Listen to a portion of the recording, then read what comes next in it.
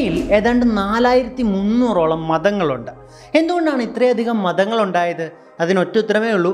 മനുഷ്യന്റെ ജീവിതത്തെക്കുറിച്ചുള്ള ചോദ്യങ്ങളിൽ ഓരോ മതവും വ്യത്യസ്തമായ ഉത്തരങ്ങളായിരുന്നു തന്നത്. ഈ എല്ലാ മതങ്ങളെയും നമുക്ക് വിവരിക്കാനായിട്ട് ഈ ഒരു ചെറിയ സമയം കൊണ്ട് സാധ്യമല്ല. അതുകൊണ്ട് തന്നെ വളരെ പെട്ടെന്ന് ഇന്ന് നിലവിലുള്ള മതങ്ങളിൽ പ്രധാനപ്പെട്ട കുറച്ച് മതങ്ങളും കുറച്ച് വിശ്വാസ സംഹിതകളും ഒക്കെയാണ് ഇന്ന് നമ്മൾ ഡിസ്കസ് ചെയ്യാൻ പോകുന്നത്.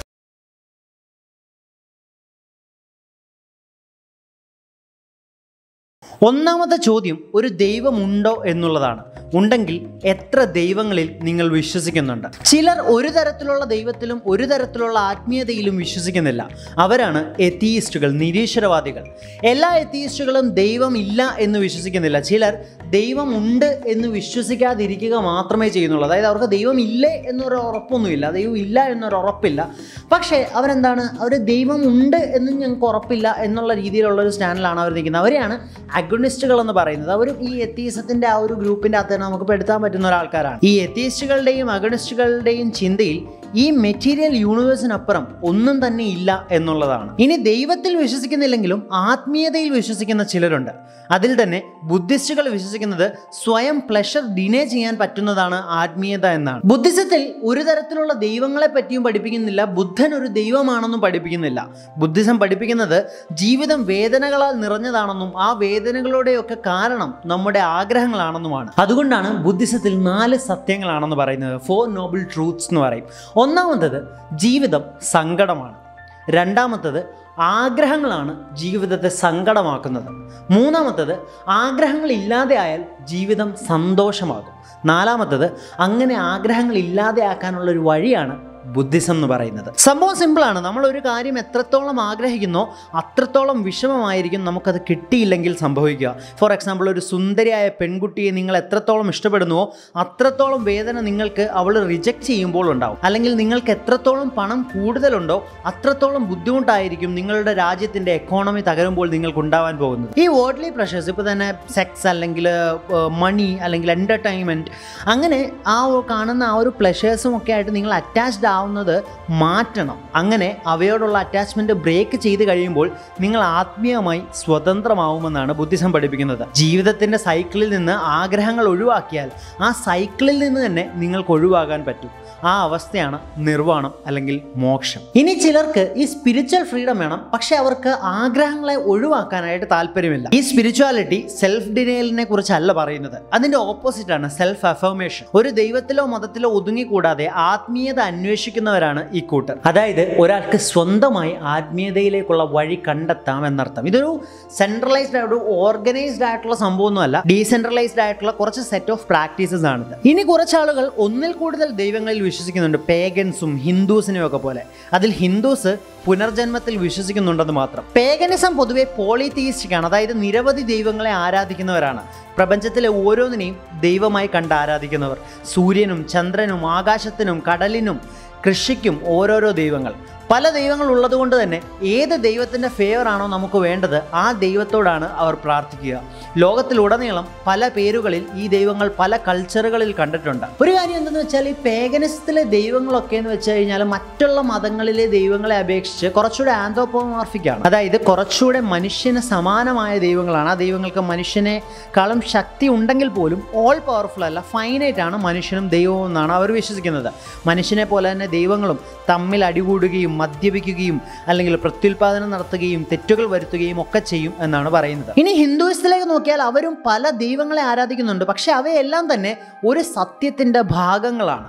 ഹിന്ദുക്കളുടെ വിശ്വാസപ്രകാരം സത്യം ഒന്നേ ഉള്ളൂ. പക്ഷെ അത് പല രീതിയിലാണ് സ്വീകരിക്കപ്പെടുന്നത്. അവരുടെ വിശ്വാസപ്രകാരം ഒരു ദൈവത്തിന് തന്നെ പല അവതാരങ്ങൾ ഉണ്ടാവും അതുകൊണ്ട് തന്നെ വിഗ്രഹാരാധന അവർ ചെയ്യാറുമുണ്ട്. Because the divine express through the physical അതുകൊണ്ട് തന്നെ ഹിന്ദുയിസം പോളിതിയസ്റ്റിക് എന്ന് പറയുന്നതിനേക്കാളും പ്ലൂറലിസ്റ്റിക് ആണെന്ന് വേണമെങ്കിൽ പറയാം. നിങ്ങൾ വിശ്വസിക്കേണ്ടത് എന്താണ് എന്നൊരു കൃത്യമായ വിവരണവും ഇല്ലാത്ത ഒരു ബൊഫെ പോലെയാണ്. ആ ബൊഫയിൽ ഇപ്പം ദൈവത്തെ പല രീതിയിൽ നമുക്ക് സ്വീകരിക്കാം എന്നുള്ളത് കൊണ്ട് തന്നെ നമുക്ക് ഇഷ്ടമുള്ള പാത്ത് നമുക്ക് ചൂസ് ചെയ്തെടുക്കാനായിട്ട് പറ്റും. അവരുടെ മറ്റൊരു വിശ്വാസമാണ് സൈക്കിൾ ഓഫ് റിയാലിറ്റി അതുകൊണ്ടാണ് അവർ കർമ്മത്തിലും പുനർജന്മത്തിലും വിശ്വസിക്കുന്നത്. അവരുടെ വിശ്വാസപ്രകാരം ജീവന് ഒരു ഹയറാർക്കി ഉണ്ട്. അതിൽ നമ്മുടെ കർമ്മം മോശമാണെങ്കിൽ നിങ്ങൾ ഒരു പടി താഴേക്കും നല്ലതാണെങ്കിൽ നിങ്ങൾ ഒരു പടി മുകളിലേക്കും പോയി അവരായിട്ടായിരിക്കും പുനർജനിക്കുക. ജീവന്റെ ഹയറാർക്കിയിൽ ഏറ്റവും ഉന്നതമായിട്ടുള്ളത് മനുഷ്യന്റെ രൂപമാണ്. പക്ഷെ അതിൽ വീണ്ടും ഒരു വേർതിരിവുണ്ട് അതാണ് ജാതി വ്യവസ്ഥ ഈ ജന്മത്തിൽ നല്ല കർമ്മങ്ങൾ ചെയ്യുന്നവർ അതിൽ ഓരോ പടി മുകളിലേക്ക് പോകും. അങ്ങനെ. അതുകൊണ്ട് തന്നെ ഹിന്ദുയിസം മോണോത്തിയസ്റ്റിക് ആയിട്ടുള്ള അതായത് ഏക ദൈവത്തിൽ വിശ്വസിക്കുന്ന ഒരു മതമാണെന്നും വേണമെങ്കിൽ നമുക്ക് പറയാം. ദൈവവും പ്രപഞ്ചവും ഒന്നാണെന്നാണ് അവർ വിശ്വസിക്കുന്നത്. അതുപോലെ തന്നെയാണ് സിഖുകാരും വിശ്വസിക്കുന്നത്. ആകെയുള്ള വ്യത്യാസം അവർ വിഗ്രഹാരാധന നടത്താറില്ല എന്ന് മാത്രം. സിഖിസത്തിൽ ഒറ്റ ദൈവമേ ഉള്ളൂ. പക്ഷേ അത് മറ്റ് വെസ്റ്റേൺ മതങ്ങളെ പോലെയല്ല. അവർ പ്രപഞ്ചത്തിൽ നിന്നും മാറി സെപ്പറേറ്റ് ആയി നിലകൊള്ളുന്ന ഒരു ദൈവത്തെ ആരാധിക്കുമ്പോൾ സിഖിസം ഹിന്ദുക്കളെ പോലെ ആ ഒരു ദൈവം പ്രപഞ്ചം തന്നെയാണെന്ന് വിശ്വസിക്കുന്നു.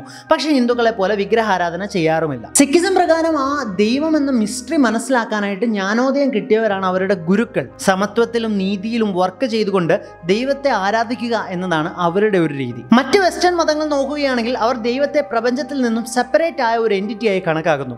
അതിൽ തന്നെ ദീസ്റ്റുകൾ വിശ്വസിക്കുന്നത് ദൈവം പ്രപഞ്ചവുമായി ഇന്ററാക്ട് ചെയ്യുന്നില്ല എന്നാണ്. ദീസം അനുസരിച്ച് ദൈവം പ്രപഞ്ചത്തിന് പുറത്താണ്. പുറത്താണെന്ന് മാത്രമല്ല പ്രപഞ്ചത്തിൽ നടക്കുന്ന ഒരു കാര്യവുമായിട്ടും ദൈവത്തിന് ബന്ധമില്ല. അല്ലെങ്കിൽ ദൈവം അതിനെ ഒന്നും സ്വാധീനിക്കുന്നില്ല. ദൈവം just he he don't care എന്നുള്ളൊരു മൈൻഡിലാണ് എന്നൊരു വിശ്വാസമാണ് ദീയിസ്റ്റുകൾക്കുള്ളത്. പക്ഷേ അബ്രഹാമിക് റിലീജിയൻസ് ഒക്കെ നോക്കിക്കഴിഞ്ഞ് കഴിഞ്ഞാൽ അവിടെ ദൈവം മനുഷ്യനുമായിട്ടും ഭൂമിയുമായിട്ടും പ്രപഞ്ചവുമായിട്ടൊക്കെ ഇന്ററാക്ട് ചെയ്യുന്നുണ്ട്. ഓക്കെ അപ്പോൾ അതെങ്ങനെയാണ് ദൈവം ചെയ്യുന്നത്? ദൈവം മനുഷ്യരൂപത്തിൽ യേശു ആയിട്ട് വന്നിട്ടുണ്ടോ? ദൈവം അങ്ങനെ വന്നിട്ടുണ്ടെങ്കിൽ തന്നെ യേശു മിഷിഹയാണോ ജുഡായിസം പറയുന്നത് അങ്ങനെ അല്ല എന്നാണ്. ജുഡായിസത്തിൽ ദൈവത്തിന് ജൂതന്മാരുമായുള്ള ബന്ധമാണ് പറയുന്നത്. തിരഞ്ഞെടുക്കപ്പെട്ട ആളുകൾ മുഖാന്തരം ലോകത്തെ നേരെയാക്കാൻ തോറ അവർക്ക് നൽകിയെന്നും അവർ വിശ്വസിക്കുന്നു. പക്ഷേ അവരെല്ലാവരും ഈ തോറ പാലിക്കുന്നുണ്ടോ? അത് ഡിപ്പെൻസ് ആണ്. ചിലർ ഭയങ്കര ഓർത്തഡോക്സ് ആയിരിക്കും. ചിലർ കുറച്ചൊക്കെ സ്ട്രിക്റ്റ് ആയിട്ട് പാലിക്കുന്ന പക്ഷേ അത്ര ഓർത്തഡോക്സ് ആർ അത്രയും സ്ട്രിക്റ്റ് അല്ലാത്ത കൺസർവേറ്റീവ്സ് ആയിരിക്കും. ചിലർ അത് സ്ട്രിക്റ്റ് ആയിട്ടേ പാലിക്കാറില്ല. അങ്ങനത്തെ ആ ഒരു റിഫോം എന്ന് പറയുന്ന ഒരു വേർഷനാണ് മൂന്നാമത്തെ വേർഷൻ എന്ന് പറയുന്നത്. ലോകത്തെ നേരെയാക്കാനായി വരുന്ന ഒരു ജൂത മിഷിഹായിലും അവർ വിശ്വസിക്കുന്നുണ്ട്. ലോകം ഇതുവരെ ശരിയാവാത്തത് കൊണ്ട് തന്നെ യേശുവിനെ അവർ മിഷിഹായിട്ട് അംഗീകരിക്കുന്നില്ല. ആ മിഷിഹയുടെ വരവിനായി ലോകത്തെ പരുവപ്പെടുത്തുകയാണ് അവരുടെ നിയോഗമായി അവർ കാണുന്നത്. ഇനി ഇസ്ലാമിലേക്ക് വന്നാൽ അവർ യേശുവിനെ മിഷിഹായിട്ട് അംഗീകരിക്കുന്നുണ്ട് പക്ഷെ ദൈവമായിട്ട് അംഗീകരിക്കുന്നില്ല. പ്രവാചകന്മാരിൽ ഒരാളായി യേശുവിനെ കാണുകയും ചെയ്യുന്നു. അവരുടെ വിശ്വാസപ്രകാരം ദൈവ പല പ്രവാചകന്മാർക്കും വെളിപാട് കൊടുത്തിട്ടുണ്ടെങ്കിലും അതൊക്കെ കറക്റ്റായി പോയതുകൊണ്ട് ദൈവം അവസാനത്തേതും പെർഫെക്റ്റ് ആയതുമായ ഒരു വെളിപാട് മുഹമ്മദിന് കൊടുക്കുകയും ചെയ്തു എന്നാണ്. അതാണ് ഖുറാൻ ക്രിസ്ത്യാനിറ്റിയുടെയും ജുഡായിസത്തിന്റെയും ഒരു ഫുൾഫിൽമെന്റ് ആയിട്ടാണ് ഇസ്ലാമിനെ അവർ കാണുന്നത്. അതായത് യേശു ഒരു പ്രവാചകനാണെന്നും വിശ്വസിക്കുന്നുണ്ട്. ഈവൻ വിർജിൻ മേരിക്ക് ഉണ്ടായതാണ് യേശു എന്നും വിശ്വസിക്കുന്നുണ്ട്. പക്ഷേ ദൈവമാണ് എന്ന് അംഗീകരിക്കുന്നില്ല. മരണത്തിൽ നിന്ന് ഉയർത്തെഴുന്നേറ്റിട്ടുണ്ട് എന്നും വിശ്വസിക്കുന്നില്ല. മുസ്ലിമുകൾ വിശ്വസിക്കുന്നത് ഖുറാൻ ദൈവത്തിന്റെ നേരിട്ടുള്ള വാക്കുകളാണെന്നും അതിൽ കുറ്റങ്ങൾ ഒന്നുമില്ല എന്നും അത് എന്നും നിലനിൽക്കുന്നതാണെന്നും ഒക്കെയാണ്. അതുപോലെ തന്നെ എങ്ങനെ ദൈവത്തിന് അടിമപ്പെടണം എന്നും അത് പഠിപ്പിക്കുന്നു. ഇസ്ലാം പ്രകാരം ദൈവമാണ് പ്രപഞ്ചത്തിന്റെ ഭരണാധികാരി.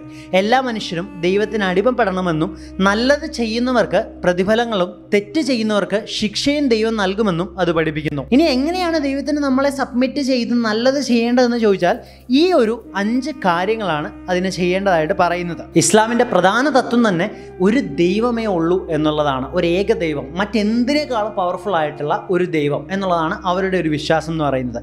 ഇനി ക്രിസ്ത്യാനിറ്റിയിലേക്ക് വരുമ്പോൾ കാര്യങ്ങൾ കുറച്ചുകൂടി ഡിഫറന്റ് ആണ്. അത് പഠിപ്പിക്കുന്നത് ദൈവം മനുഷ്യരൂപത്തിൽ വന്നു എന്നാണ്. ജീസസ് ക്രൈസ്റ്റ് എന്നെയും നിങ്ങളെയും പോലെ മനുഷ്യനുമാണ് ദൈവവുമാണ്. മനുഷ്യനും ദൈവവുമായ അദ്ദേഹത്തിന് മാത്രമേ മനുഷ്യന്റെയും ദൈവത്തിന്റെയും ഇടയിലുള്ള വിടവ് നികത്താനായി സാധിക്കുകയുള്ളൂ. മനുഷ്യന്റെയും ദൈവത്തിന്റെയും ഇടയിൽ എന്തായാലും ഒരു ഗ്യാപ്പ് ഉണ്ട്. എങ്കിലും അത്രയും കാരുണ്യമുള്ള ദൈവം മനുഷ്യനായി വന്ന് നമ്മുടെ പാപങ്ങൾക്ക് വേണ്ടി മരണപ്പെട്ടു. അദ്ദേഹം മരണത്തിൽ നിന്ന് ഉയർത്തെഴുന്നേറ്റു. നമ്മളെയും അതുപോലെ സഹായിക്കും. പിതാവും പുത്രനും പരിശുദ്ധാത്മാവും ഒന്ന് തന്നെയാണെന്നും ദൈവം തന്നെയാണെന്നും ക്രിസ്ത്യാനിറ്റി പറയുന്നു. ഈ ജീസസിന്റെ കഥയാണ് ബൈബിൾ. മരണത്തെ തോൽപ്പിച്ച അദ്ദേഹത്തിന്റെ രണ്ടാം വരവിൽ ലോകത്തിലെ തിന്മയെ മുഴുവൻ അദ്ദേഹം അമർച്ച ചെയ്യും. മനുഷ്യനെയും ദൈവത്തെയും ഒന്നിപ്പിച്ചതുപോലെ ഭൂമിയെയും സ്വർഗത്തെയും അദ്ദേഹം ഒരുമിപ്പിക്കും. അങ്ങനെ പലരും പല രീതിയിൽ ദൈവത്തെ ആത്മത്തെ അന്വേഷിക്കുന്നു. ഞാൻ അന്വേഷിച്ചപ്പോൾ എനിക്ക് കിട്ടിയ ഉത്തരം ദൈവമില്ല എന്നുള്ളതാണ്. അത് എന്റെ വഴികൾ എനിക്ക് തന്ന ഉത്തരമാണ്. എനിക്ക് എന്റേതായിട്ടുള്ള കാരണങ്ങളും അതിനുണ്ട് ബേസിക്കലി നമ്മൾ എല്ലാവരും നിരീശ്വരവാദികളാണെന്ന് എത്തിയസ്റ്റുകളാണ് അതായത് ലോകത്ത് നാലായിരത്തി മുന്നൂറ് മതങ്ങളുണ്ടെന്ന് ഞാൻ പറഞ്ഞു. അതിലെ എല്ലാത്തിനും ഒരു ദൈവം വെച്ചേ ഉള്ളെന്ന് കണക്ക് കൂട്ടുക. അപ്പോഴും നാലായിരത്തി മുന്നൂറ് ദൈവങ്ങളുണ്ടെന്ന് വിശ്വസിക്കും. ചുമ്മാ പറയുകയാണ് ഈ നാലായിരത്തി മുന്നൂറ് മതങ്ങളുണ്ടെങ്കിൽ അതിന്റെ അകത്ത് ഇപ്പോൾ നിങ്ങളൊരു ഹിന്ദു ആണെങ്കിൽ നിങ്ങൾ അതിന്റെ അകത്ത് ഹിന്ദുയിസത്തിന്റെ ദൈവത്തെ ഒഴിച്ചുള്ള ബാക്കി എല്ലാ ദൈവങ്ങളെയും വിശ്വസിക്കാതിരിക്കുകയാണ് ചെയ്യുന്നത്.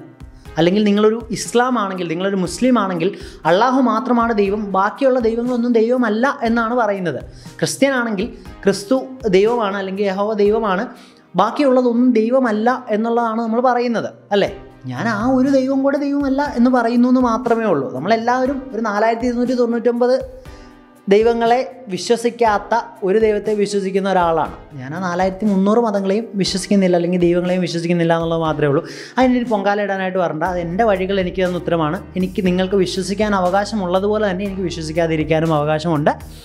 സോ വീഡിയോ നിങ്ങൾക്ക് യൂസ്ഫുൾ ആയി. ഞാൻ ആ മതത്തെക്കുറിച്ച് മതത്തിന്റെ മോശം സെക്ടേഴ്സ് അല്ലെങ്കിൽ എനിക്ക് തോന്നിയ പ്രശ്നങ്ങളോ അല്ലെങ്കിൽ നല്ല ഒന്നല്ല ഞാൻ പറഞ്ഞു ആ മതത്തിന്റെ മതങ്ങളുടെ ഐഡിയ പ്രധാനപ്പെട്ട കുറച്ച് മതങ്ങളുടെ ഐഡിയ എന്താണെന്നുള്ളത് അതിന്റെ പോസിറ്റീവ് സൈഡിൽ നിന്നുകൊണ്ട് പറയാൻ ശ്രമിച്ചതാണ്. സോ നിങ്ങൾക്ക് വീഡിയോ യൂസ്ഫുൾ ആയി എന്ന് ഞാൻ വിശ്വസിക്കുന്നു. യൂസ്ഫുൾ ആയിട്ടുണ്ടെങ്കിൽ വീഡിയോ ഒന്ന് ലൈക്ക് ചെയ്യുക അഭിപ്രായങ്ങൾ കമന്റ് ചെയ്യുക.